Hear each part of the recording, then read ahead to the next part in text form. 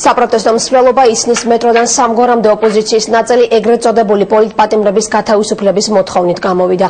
აქციის მონაწილეების მტკიცებით ხელისუფლებას 40-მდე პოლიტპატიმარი ხავს, მათ შორის არიან ცოტნე გამსახურდია და ეკა ბესელიას ოჯახის წევრები. საპროტესტო გამოსვლაში კონსერვატორებთან და ხალხის პარტიასთან ერთად ზურაბ ნოღაიდელიც მონაწილეობდა.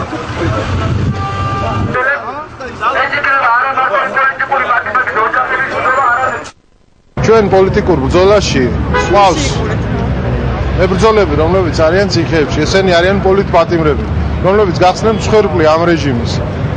და ჩვენ მათი მიტოვება არ გვეგების და ამიტომ დღეს შევიკრიბეთ და ვიწყებთ კამპანიას თელ ქალაქში პოლიტპატიმრების განთავისუფლების მოთხოვნით. ეს ადამიანები არიან პატიმრები, იმიტომ რომ სააკაშვილს მათი ოჯახის წევრებთან, მათ პოლიტიკურ საქმიანობასთან გააჩნია პრობლემა.